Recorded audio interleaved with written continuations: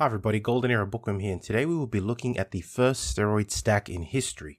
Well, more like an anabolic stack, and if you have been following my videos on the history of steroid use, you would know that Silver Era bodybuilders were already inquiring about testosterone as early as 1943, and you can see that video linked below. And it was in fact legendary Silver Era bodybuilder John Grimek who was asking about testosterone. After reading Muscletown USA by Professor John D. Fair, I discovered yet another letter which describes John Grimek's steroid stack that he was taking in 1954. You heard right. Here is the letter in full. Quote, Thanks for keeping me awake last night. I didn't really get the sting of Morpheus, goddess that is, until 4 a.m. But wait, I feel fresh and alert as if I slept from midnight. Must be this darn amber colored vitamins.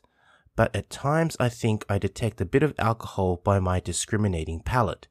Boy, I can't wait until I make a long trip by car. Say, boy, I'm going to make California in less than two days flat, unless I get flattened before. But seriously, that darn stuff sure has an odd reaction on me. I took two tablespoons this morning. I feel like I've gotten 1000 milligrams of testosterone. End quote. Now I'm going to analyze this letter in a second with some comments, but let's just add one further detail to this letter. And that is, Professor John D. Fair states also in his book that along with the drugs mentioned in the letter, Grimek was also using a substance called Syndrox, which was the trade name for methamphetamine back in the 1940s and 50s. Now, before you start blasting John Grimek, let's just get one thing straight. The first recorded experimentation of any steroids by a Silver Era bodybuilder was in 1954, and the bodybuilder in question, sure, was John Grimek, and he began experimenting when he was already retired from bodybuilding competition. Sure, it destroys his natural status, but we also need to discuss whether the following stack had an effect on his physique at all, which I will get into in a few minutes. Now let's analyze this letter. From what I can gather, he is describing the effects of Syndrox, as methamphetamine is a potent central nervous system stimulant. He states the following again. Thanks for keeping me awake last night. I didn't really get the sting of Morpheus, goddess that is. So, from what I understand, the sting of Morpheus actually refers to falling asleep. Uh, until 4 a.m. But wait, I feel fresh and alert as if I slept from midnight. So he basically states that after taking Syndrox, he was awake until 4 a.m. and not tired the next morning, again describing the effects of methamphetamine. Must be this darn amber colored vitamins. Interesting fact bodybuilders used to call all kinds of drugs and steroids vitamins back then because, in fact, and in all honesty, they actually thought they were vitamins. That's how, you know, don't mean to insult them, but that's how ignorant they were but at times I think I detect a bit of alcohol by my discriminating palate. Boy, I can't wait until I make a long trip by car. Say, boy, I'm going to make California in less than two days flat. Again, now Grimek expresses his excitement about Syndrox and how effective it is as a stimulant. Unless I get flattened before. But seriously, that down stuff sure has an odd reaction on me. I took two tablespoons this morning. I mean, you know, this is a pretty wowing moment right now. Um, you know, he's not just uh, stating that he liked methamphetamine, but he liked it so much that he took another dose the next morning, which I find hilarious. I feel like I've gotten 1000 milligrams of testosterone. Not only that, um, he compares it to the equivalent, you know, he compares the effects to the equivalent of taking a 1000 milligram shot of testosterone. End quote, anyway. Uh, Professor John D. Fair also states that by summer of 1954, John Grimek was, quote, taking a variety of substances provided by Ziegler, including Syndrox, end quote. So from what we can gather from this letter and the book, it appears that John Grimek was stacking testosterone shots with Syndrox, and not only that, but perhaps taking hun- several hundred milligrams or more of testosterone per week with Syndrox of course, I am just speculating here, but definitely stacking methamphetamine with testosterone. Now, in further defense of John Grimek, Professor Fair states that, like Ziegler, Grimek's interest stemmed from his curiosity about how drugs might stimulate muscular growth and performance. So, sure, this blows John Grimek's natural status out of the water, but again, this occurred after retirement from bodybuilding competition. And further, knowing that he was already inquiring about steroids in 1943 just goes to show that these silver era bodybuilders were just like any athlete. They are human. They were not perfect moral examples of our society.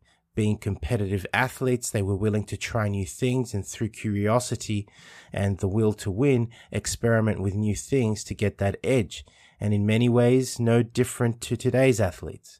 Now, obviously, Syndrox had a major effect on John Grimek, but what about testosterone? Well, John Grimek's reaction to testosterone was also documented in Muscletown, USA. Let me read an excerpt from this book. Quote from John Grimmek. Ziegler tried to convince me that if I took these shots two to three times a week, I would get stronger and more muscular without training, but I saw no reaction. In fact, I told him I was feeling lousy compared to what I feel normally, so he suggested I return to training. I did, but after six weeks I gave it up, that is the shots. I got no results. End quote. It's interesting to read this quote from John Grimek because he wasn't receiving oral testosterone, which is not very potent, but he was receiving shots of testosterone, which is supposed to be way more effective. And even if he was only receiving a few hundred milligrams a week, I would dare to say that he would probably feel an effect. Several people have tried to explain why John Grimek claims to have had no effects, and it may be simply because he was already so strong and most likely with high testosterone naturally produced in his body. And therefore, the external synthetic testosterone had no effect on him. But of course, again, these are just speculations. So that was the first recorded steroid stack. Well, more like an anabolic stack, really. But you get the point. And believe it or not, the stack, which consisted of testosterone shots and Syndrox, was taken by none other than legendary silver era bodybuilder John Grimek. If you have enjoyed the video, please give it a like, subscribe, and let me know your comments. What do you think of this anabolic stack? According to John Grimek, it had only at, at most a stimulant effect and not an anabolic effect. Uh, you know, what do you think of John Grimek now? Does this information tarnish your opinion of him? And what about your opinions of the silver era bodybuilders in general? I would be interested to read your comments and please write them and let me know. In my opinion, both the Bronze Era and Silver Era still produced some of the best methods for naturals in existence, and if you are interested in learning about these methods, then please visit my website for the biggest collections of ebooks on the subject of training. Anyway, that's it for me. This is the Golden Era Bookworm saying bye for now.